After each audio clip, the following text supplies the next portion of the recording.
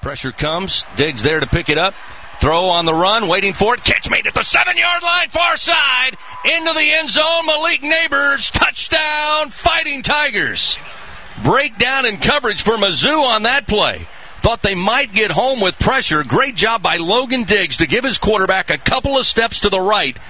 And then off balance throw to Nabers, who was wide behind open at the seven yard line. He'll go in to score. And it's now.